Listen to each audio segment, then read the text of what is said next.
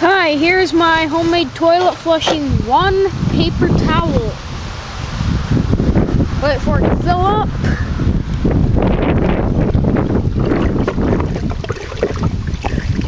I got a new pipe here.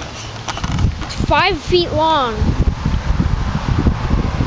Goes out to the septic tank.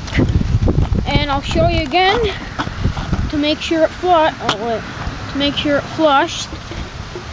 Here, I gotta aim the camera there.